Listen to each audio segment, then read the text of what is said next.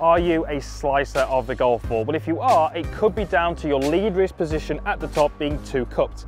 In today's video, we're gonna show you a really simple way of getting that cupped wrist to a flatter position, definitely gonna help you with your slicing.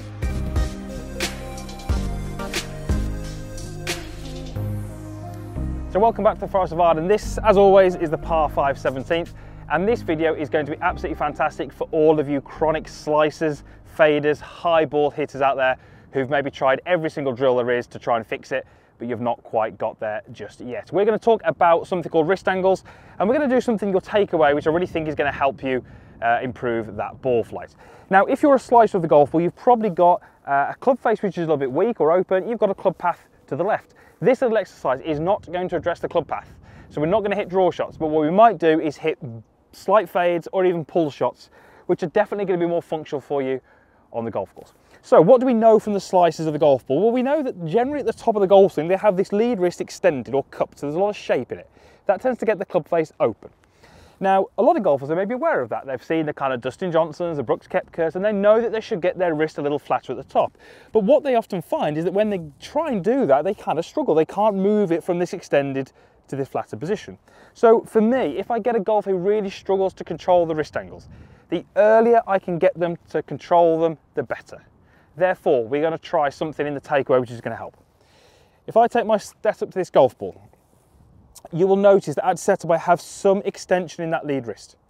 It's cupped, which means I have to take that out in the backswing. That's not easy to do. But what I want you to try and feel is as you move the club away, you're going to keep the club head pointing towards the golf ball. So you can see how I've got that club pointing very much down towards the ground. Now what that's actually done is actually started to flex my lead wrist. And my trail wrist has started to increase its bend.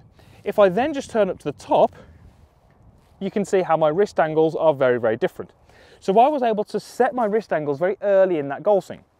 If I have my wrist extended at setup, which many of you will, that's absolutely fine, and you get to this halfway back position and it's still extended, I think you've made it a little bit harder for yourself from now, from here to the top, to try and flatten out that wrist.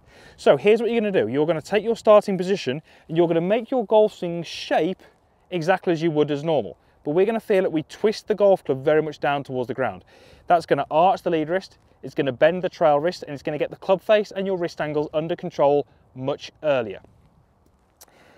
This isn't one of those things that you're just going to go and try at the range if you didn't play well at the weekend. This has to be for those golfers who really struggle with an open club face at the top, who know that is because their wrist is extended and they really struggle to control it. If that is you, this drill is well worth a try. I really think it's going to help you. And I'd love to hear in the comments, is this something you've tried? Have you tried to control your wrist angles this early in the golf swing?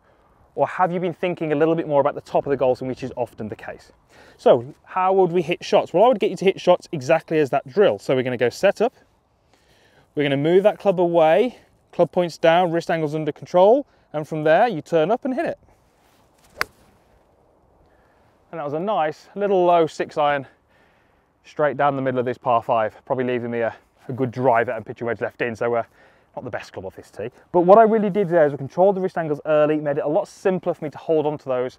And I say, if you're a chronic slicer of the golf ball, this is definitely something you need to try in practice. I really think it's going to help you. Really hope that helps. Again, let me know in the comments box, is this something which helped you? Would love to get your feedback. And also, you know, let me know what kind of content you'd like me to do going forwards. Would love this channel to be a little bit more about you with your information, your feedback to me, then I can hopefully produce the content which is going to help you play better on the golf course. Thank you very much for watching. Usual stuff is down below. Comments box, like button over here, my logo. Click that. It'll allow you to be a free subscriber.